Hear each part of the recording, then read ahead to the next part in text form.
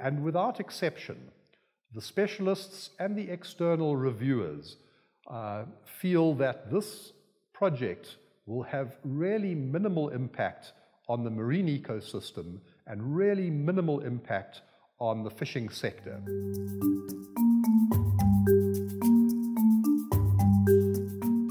That conclusion comes from the specialists, who are all highly qualified uh, and competent scientists, and it comes from the reviewers, often representing big organizations like the CSIR in South Africa, who have no vested interest in this project going ahead or not.